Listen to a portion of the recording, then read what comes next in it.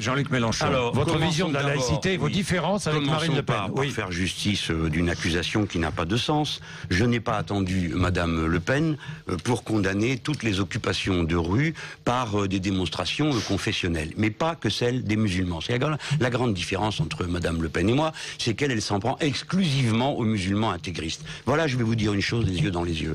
Dans ce pays, il n'y a pas de problème avec l'islam. Il y a un problème avec une poignée de fanatiques que nous mettrons à merci, comme nous l'avons fait exactement avec les catholiques intégristes, les juifs fanatiques, les bouddhistes exaltés, les évangélistes énervés. C'est-à-dire que d'une manière générale, les Français pensent comme moi, qu'ils en ont par-dessus la tête d'être obsédés par ces histoires de religion. Et vous, madame, vous faites le tri entre vos intégristes. Il y a les bons et les mauvais.